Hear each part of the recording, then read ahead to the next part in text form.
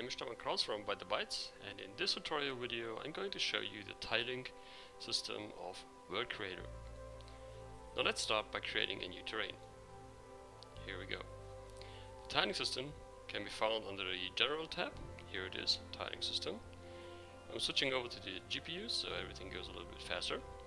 Now if you want to tile this terrain, just check the tileable checkbox here and generate to see what is happening. So the borders are now adapted and now you're ready to create more tiles.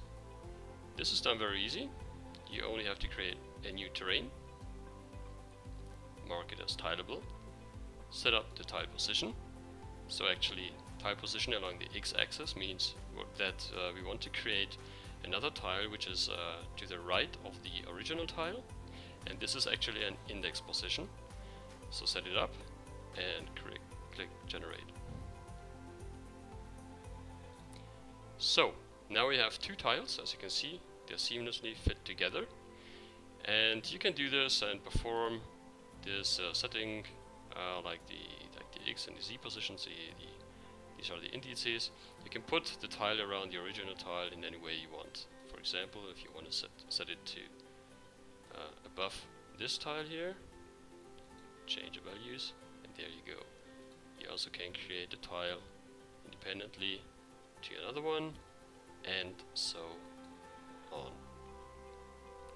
Negative values are also possible, so if you enter minus 1 then you create a tile to the left of the original one. There are no limits in the number of tiles you can create with the professional version. The standard version is limited to a maximum of uh, 6 tiles which means uh, three tiles in each direction. So set it to 1 and now let's see what else we can do with it. Now the really powerful thing about this is that you can create multiple biomes and stitch them together so it uh, just uh, has a perfect blending between those two tiles. I'm going to do this. I want to apply a, a terrace filter for this one here, for the second tile that I have created. So I go to uh, the terrain mask and terrain filter settings, add terrain filter.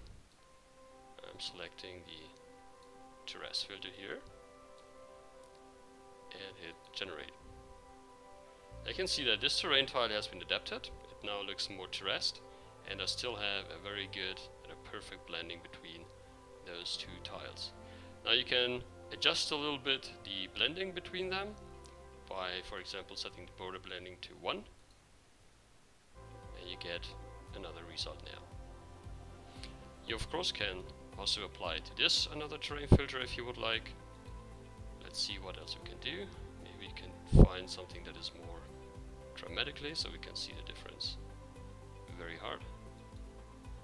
Here we go. Now we have a Minecraft combined with a with a, terrace. Um, the auto align, if this one is checked and you create a new tile and you uh, set up uh, an index for the X and the Z positions and you hit generate then the tile is automatically being placed uh, according to the to the width and to the height so you don't have to care uh, about it anymore uh, so it's uh, recommend to to use to leave this checked and if you have used textures on textured on one tile you can copy the textures to the other one, also the same objects, so if you want to create a larger area. But this, uh, this will be another tutorial uh, when it's about texturing and, and uh, object placement. Okay, that's right now. Thanks for watching and um, please check out our other tutorial videos. Bye bye.